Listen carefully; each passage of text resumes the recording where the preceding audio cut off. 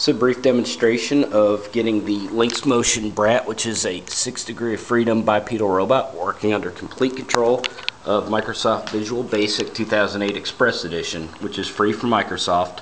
A free download. So I have the code already written and it's on the Lynxmotion website under general programming. It's a sticky thread right now so you can find the code there. I'm going to hit F5 to bring up the program. As you can see it's just got a few basic commands, a few basic controls I built. Um, the first one just brings the robot to attention, centers all the servos. It's going to center them at 1500 microseconds.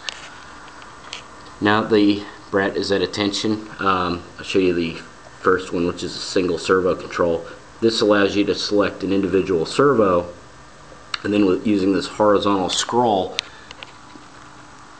you can adjust it and find out the range of motion of each of them.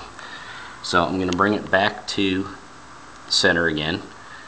Now I'm going to click this walk forward which is not the the best walking I've seen from a Brat but it was all hand coded through Visual Basic for the first time tonight so I'm going to try it out and it looks like it's going to fall every time but it never does.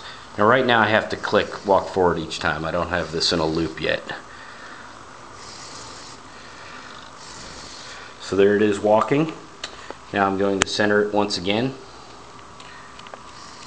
Brings it to attention and now I'm going to rest the servos by clicking 0 microseconds. And that's it. Check out the Lynxmotion forums for all the details forthcoming. Thank you.